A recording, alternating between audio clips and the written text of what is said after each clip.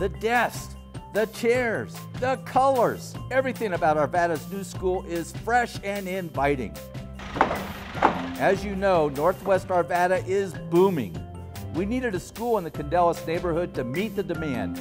Now that it's here, students and staff say it feels like home. You know, if we had smell-o-vision, you'd know exactly where we are in a great new facility.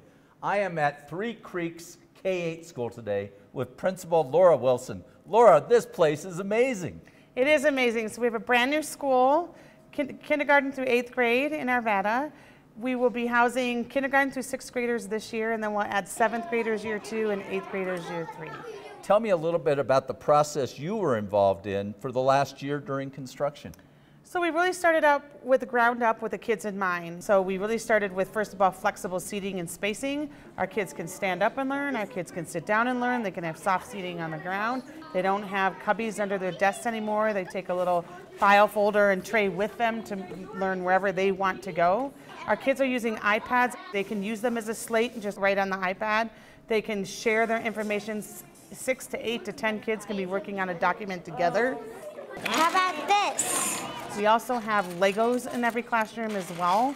So our kids are using Legos to manipulate, to move, to you know, really look at critical thinking and their communication and collaboration. Our kids are using green screen. Our kids are having some voice and choice how they learn.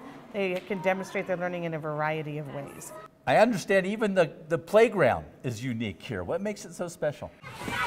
It's actually divided into like different areas. We have a canoe area that actually has a canoe in our playground, so it's designed beautifully.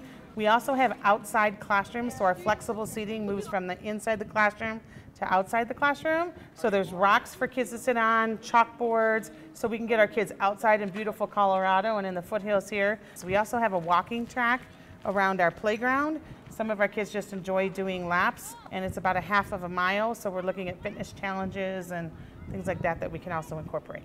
Well, Laura, we're thrilled to have you as part of our community now.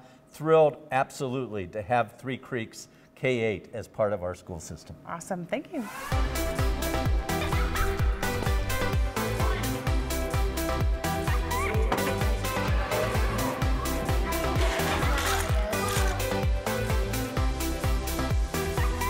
Well, before I get hauled back into the principal's office, I just want to say I'm Arvada Mayor Marc Williams. Thanks for watching.